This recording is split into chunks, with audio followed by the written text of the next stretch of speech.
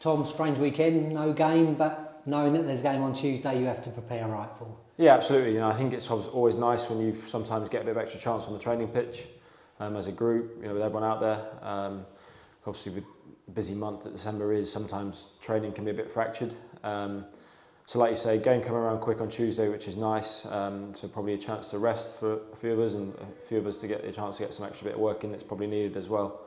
Um, but no, we're looking forward now to get back going again Tuesday.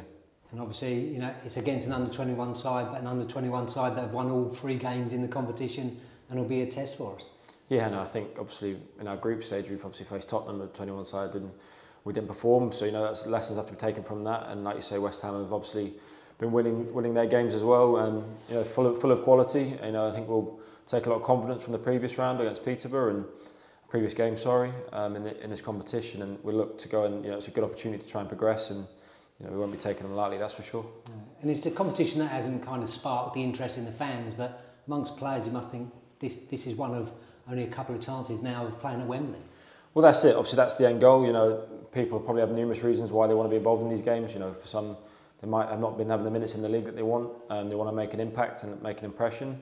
Um, so, you know, we're all we're all we're all looking to to have a positive performance. Um, and like you say, the end, the end goal of Wembley is uh, you know is a dream for, for for everyone. So, you know, if we can do that, then this is a great opportunity to do so. Yeah, and on a personal note, you've been involved in the squad pretty much throughout the season, but you must be a bit frustrated with your lack of starts and the chance now to, to put your name uh, in the hat, whether you start or come on as sub, ready for the league games coming up. Yeah, I think you know, a, from a personal note, you know, it's obviously not been I've been frustrated with my performances um, for a period of time, probably up until my last two starts. Actually, first time I've come away off the pitch thinking actually done all right there. Um, so you know, hopefully I can keep building on that. Um, you know, whenever I'm asked to to play a part, whether that be from the start or the bench, you know, try and give everything I can and and really try and try and help the team. Um, so yeah, hopefully if I can continue doing that off the back of my probably my last two performances, then I can hopefully keep building on that and have a bigger have a bigger part to play, which would be nice. Yeah, and obviously with a week without a game, chance on the training ground to get to know a bit more about how Matty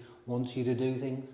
Yeah, I think you know I think that's probably been good for us as a group of lads, but also probably for him and his staff as well. You know, they're obviously they will still want to build their, their ideas and you know and get us to sort of understand that and vice versa. You know, he probably still needs to get to know us as players as well.